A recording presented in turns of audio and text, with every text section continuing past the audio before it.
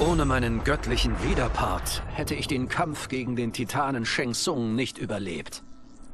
Und doch warf unser Treffen Fragen auf. Warum hatte ich ihn hier ersetzt?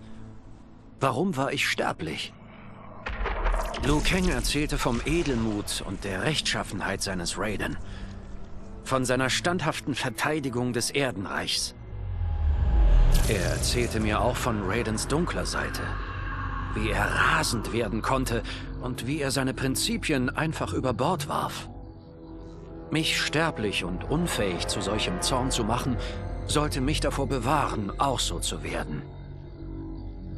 Ich verstand seine Gründe, doch er hatte mir einen schlechten Dienst erwiesen.